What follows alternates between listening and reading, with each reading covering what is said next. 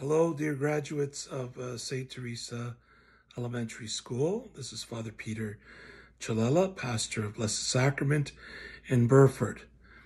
Obviously, this is not the way I would have wanted to uh, convey my greetings and my congratulations to you, but we know that this has been a, a very difficult time, extraordinary time. God willing, we'll get through this and uh, little by little back to our routine.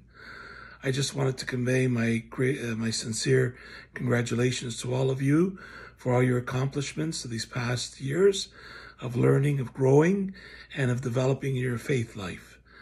And know that you are always in my prayers.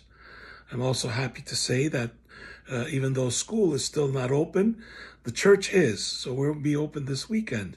Who knows? Maybe if you come to church this weekend, you might see a friend or two or a familiar face.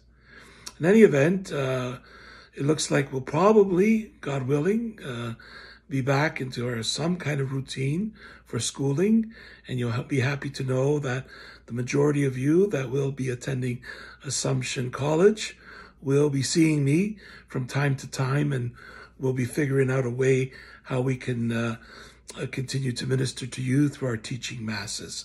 That's something that we do with the with the grade nine students.